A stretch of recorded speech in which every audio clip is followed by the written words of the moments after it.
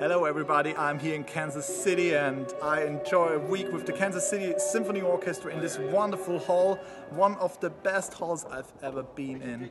So I hope you have time to come by. We will have concert with the fantastic Kansas Symphony Orchestra and Maestro Michael Stern with John corigliano's de Conjurer and in the second part there will be Beethoven's Fifth Symphony.